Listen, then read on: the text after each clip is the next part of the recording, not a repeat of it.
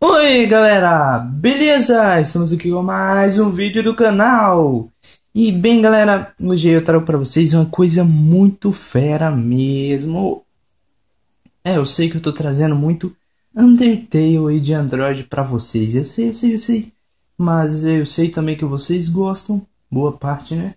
Boa parte dos inscritos que eu tenho São por causa desses recentes e bem populares vídeos que eu ando postando de Droid Tale.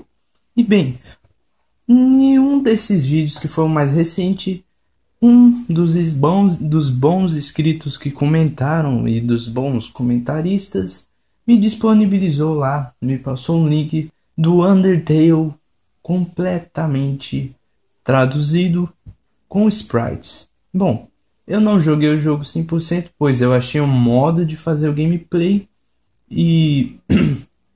Desculpa aí, minha garganta tá um pouco ruim. É.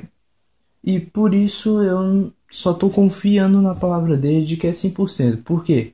Porque é mesmo de sprites coloridos e é diferente do Undertale que eu mostrei a vocês. Então é esse coraçãozinho aí que vocês estão vendo aí na tela. E bem, é bem básico. Eu vou abrir aqui ele, tá? O inscrito aí é o 1001 tutoriais, né? Vocês estão vendo aí o comentário dele na tela. E aqui foi criado por Vinícius Freitas BR. Se eu achar o link aí na internet, é, deixa eu baixar aqui. Eu deixo na descrição também. Se for um canal aí que ele pegou o link, ou se ele fez, não sei. É, vamos ver aqui. Tá, isso daqui a gente já conhece. Vou mostrar aqui pra vocês, ó. Totalmente traduzido aqui de boa. Tá até lagando menos do que o outro Undertale.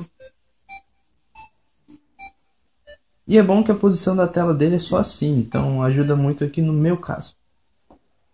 Aí que GB de boa.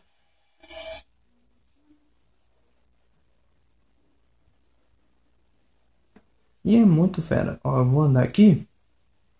E agora vai ter spoiler, galera. É, a única parte do jogo que eu cheguei a jogar mesmo foi até aqui. Só que eu não vi tudo, né? Eu só vi aqui o comecinho do que ele fala e agora vai falar. Ah, sim. Olha, você não tem nada melhor para fazer. E aí ele vai falar os Paranauê que eu não sei o que, que é direito.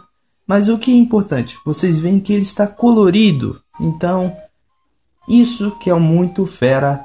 Deixa pecar. Bom, e se você quiser saber como pôr esses botões na tela, como se joga Undertale no Android, como pôr outros tipos de botão, sei lá, clique no card aí em cima e clique novamente se aparecer novamente. É, tem dois vídeos aí ensinando a como você jogar de duas maneiras diferentes. Um com gameboard, com gamepad, nossa, gameboard, não. Gamepad com game keyboard. Vejam aí qual é o melhor e qual é o mais ideal para vocês. E não se esqueçam de deixar o comentário aí sobre alguma falha que você teve ou se o APK te ajudou mesmo. Que é muito importante aí para mim estar tá, é, ajudando a vocês e estar tá respondendo aí o comentário assim que possível. Se vocês puderem jogar o jogo o máximo possível mais longe e veem que ele está completamente traduzido mesmo, comentem aí pra mim que é muito importante. Obrigado aí. Galera, foi mal por qualquer bug de áudio que tenha tido no vídeo aí, foi mal mesmo.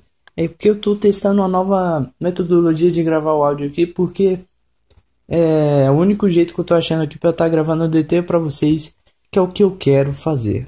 Mesmo que não esteja assim muito atualizado, né? Undertale é de 2014, mas mesmo assim eu quero estar fazendo este gameplay para vocês, ok? Então é isso e falou.